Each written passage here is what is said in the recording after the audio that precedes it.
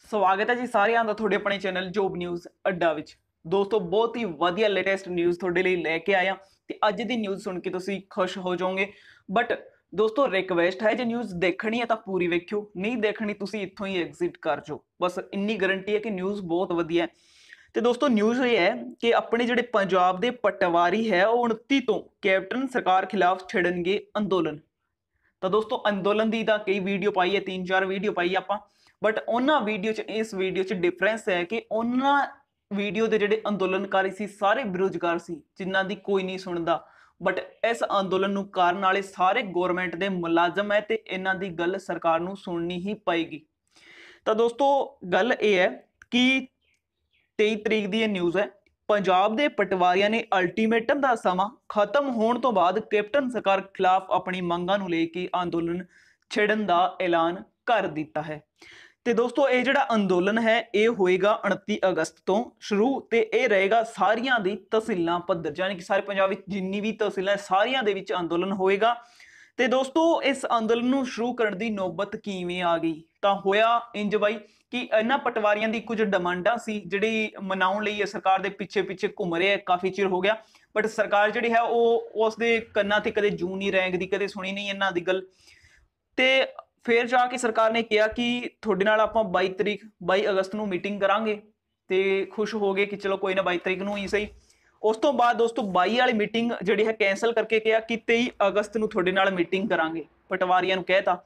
ਪਟਵਾਰੀ ਕਹਿੰਦੇ ਚਲੋ ਕੋਈ ਗੱਲ ਨਹੀਂ 23 ਨੂੰ ਕਰ ਲਿਓ। ਬਟ ਹੋਇਆ ਕਿ ਗਾਇਜ਼ ਕੱਲ ਸੀ 23 ਤੇ 23 ਦੀ ਮੀਟਿੰਗ ਵੀ ਇਹਨਾਂ ਨੇ ਕੈਨਸਲ ਕਰ ਦੀ ਤਾਂ ਬਾਈ ਤੁਸੀਂ ਵੀ ਜਾਣਦੇ ਹੋ, ਪਟਵਾਰੀ ਅਨਪੜ੍ਹ ਤਾਂ ਹੁੰਦੇ ਨਹੀਂ। ਸਾਰੀ ਗੱਲ ਸਮਝ ਜਾਂਦੇ ਐ ਤੇ ਜਦੋਂ ਪਟਵਾਰੀਆਂ ਨੂੰ ਲੱਗਿਆ ਕਿ ਸਰਕਾਰ ਉਹਨਾਂ ਦੀ ਗੱਲ ਨੂੰ ਟਾਲ ਮਟੋਲ ਕਰ ਰਹੀ ਹੈ, ਤਾਂ ਜਾ ਕੇ ਉਹਨਾਂ ਨੇ ਸਿੱਧੇ ਤੌਰ ਤੇ ਐਲਾਨ ਦਿੱਤਾ ਕਿ ਅਸੀਂ ਧਰਨਾ ਸਟਾਰਟ ਕਰਾਂਗੇ। ਪਟਵਾਰੀਆਂ ਦੇ ਜਿੰਨੇ ਵੀ ਆਗੂ ਹੈ ਦੋਸਤੋ, ਉਹਨਾਂ ਨੇ ਅਨਾਉਂਸ ਕਰਤਾ ਕਿ 29 ਅਗਸਤ ਤੋਂ ਧਰਨਾ ਸਟਾਰਟ ਹੋ ਜਾਏਗਾ। ਤੇ ਦੋਸਤੋ, ਪਟਵਾਰੀਆਂ ਦੇ ਜਿਹੜੇ ਮੰਗਾਂ ਹੈ ਨਾ, ਵਾਕਈ ਦੋਸਤੋ ਦਿਲ ਖੁਸ਼ ਹੋ ਜਾਏਗਾ ਇਹਨਾਂ ਦੀ ਡਿਮਾਂਡਾਂ ਸੁਣ ਸੁਣ ਕੇ। ਤਾਂ ਪਹਿਲੀ ਜਿਹੜੀ ਡਿਮਾਂਡ ਹੈ ਦੋਸਤੋ ਉਹ ਤਾਂ ਇਹੀ ਹੈ ਕਿ ਜਿਹੜਾ ਪ੍ਰੋਮੋਸ਼ਨ ਦਾ ਪੀਰੀਅਡ ਹੈ, ਉਹਦੇ ਵਿੱਚ ਹੀ ਟ੍ਰੇਨਿੰਗ ਪੀਰੀਅਡ ਐਡ ਕਰ ਦਿਓ। ਯਾਨੀ ਕਿ ਪਹਿਲਾਂ ਟ੍ਰੇਨਿੰਗ ਦਿੰਦੀ ਹੈ ਫਿਰ ਪ੍ਰੋਮੋਸ਼ਨ ਪੀਰੀਅਡ ਤੇ ਰੱਖਦੇ ਆ, ਫਿਰ ਉਹਨਾਂ ਨੂੰ ਰੈਗੂਲਰ ਕੀਤਾ ਜਾਂਦਾ ਹੈ। ਤਾਂ ਇਹ ਜਿਹੜਾ ਸਾਰਾ ਸਿਸਟਮ ਖਤਮ ਕਰੋ ਤੁਸੀਂ, ਸਿੱਧਾ ਸਾਨੂੰ ਸਰਕਾਰੀ ਜਿਹੜਾ ਹੈ, ਉਹ ਬਣਾਓ। ਠੀਕ ਹੈ? ਸਰਕਾਰੀ ਪਟਵਾਰੀ।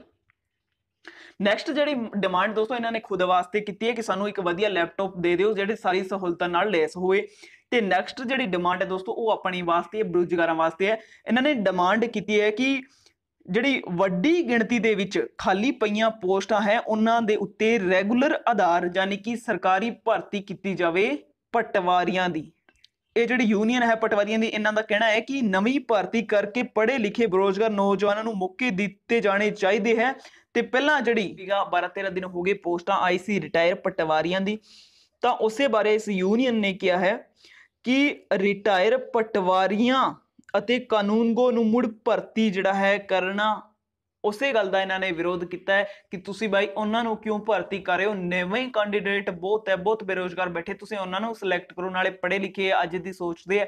ਤੁਸੀਂ ਕਿਉਂ ਉਹਨਾਂ ਬਜ਼ੁਰਗਾਂ ਨੂੰ ਭਰਤੀ ਕਰਦੇ ਜਾ ਰਹੇ ਹੋ? ਇਸ ਗੱਲ ਦਾ ਦੋਸਤੋ ਇਹਨਾਂ ਨੇ ਵਿਰੋਧ ਕੀਤਾ ਹੈ। ਤਾਂ ਵਾਕਈ ਆਪਣੀ ਸਪੋਰਟ ਵਿੱਚ ਖੜੇ ਆ ਦੋਸਤੋ। ਤੇ ਵਧੀਆ ਜੇ ਇਹਨਾਂ ਦਾ ਧਰਨਾ ਸਿਰੇ ਚੜ ਗਿਆ ਤਾਂ ਵੈਕੰਸੀਆਂ ਅਨਾਉਂਸ ਹੋਏਗੀ। ਬਟ 99% ਜਿਹੜਾ ਹੈ ਇਹਨਾਂ ਦਾ ਧਰਨਾ ਇੱਕ ਦਿਨ ਵਿੱਚ ਹੀ ਦੋਸਤੋ ਸਕਸੈਸ ਹੋ ਜਾਏਗਾ। ਕਿਉਂਕਿ ਰੀਜ਼ਨ ਇਹ ਹੈ ਕਿ ਸਾਰੇ ਪੰਜਾਬ ਦੇ ਜੇ ਸਿਲੈਕਟਡ ਪਟਵਾਰੀ ਧਰਨੇ ਤੇ ਬਹਿ ਗਏ, ਤਾਂ ਸਰਕਾਰ ਜਿਹੜੀ ਹੈ ਉਹਨਾਂ ਦਾ ਕੰਮਕਾਰ ਬਿਲਕੁਲ ਠੱਪ ਹੋ ਜਾਏਗਾ ਤੇ ਮਜਬੂਰਨ ਸਰਕਾਰ ਨੂੰ ਪੋਸਟਾਂ ਅਨਾਉਂਸ ਜਿਹੜੀ ਹੈ ਉਹ ਕਰਨੀ ਹੀ ਪਏਗੀ। ਤਾਂ ਬਹੁਤ ਵਧੀਆ ਨਿਊਜ਼ ਹੈ ਦੋਸਤੋ। ਤੁਹਾਨੂੰ ਕਿੱਦਾਂ ਲੱਗੀ ਕਮੈਂਟ ਕਰਕੇ ਦੱਸਿਓ। ਜੇ ਵਧੀਆ ਲੱਗੀ ਲਾਈਕ ਸ਼ੇਅਰ ਜ਼ਰੂਰ ਕਰਿਓ। ਆਪਾਂ ਮਿਲਾਂਗੇ ਨੈਕਸਟ ਵੀਡੀਓ ਵਿੱਚ। ਉਦੋਂ ਤੱਕ ਲਈ ਰੱਬ ਰਾਖਾ।